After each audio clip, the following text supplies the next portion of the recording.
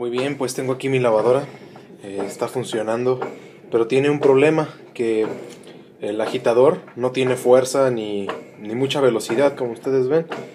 No talla y apenas revuelve el agua. Entonces la voy a revisar para ver qué puede, qué puede ser el problema y a ver si lo puedo solucionar. Pues muy bien, después de inspeccionar un rato visualmente aquí el, el motor de, y los componentes que están aquí, pues me di cuenta que la banda está muy floja, se sale con mucha facilidad. Entonces, pues me parece que lo que hay que hacer es ajustarla. Aquí a un lado tienen un tornillo que se puede sacar con una llave de tuercas.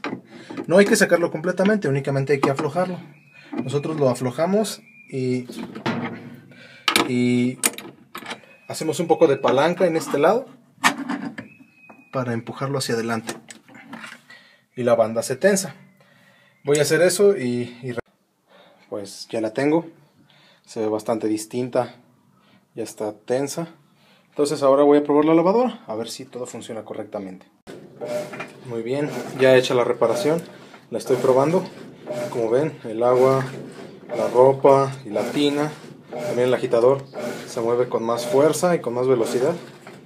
Eh, ese problema es común en las lavadoras que ya tienen algún, algún tiempo de uso, algunos años, pero pues es fácil de reparar. Y pues espero les sea útil.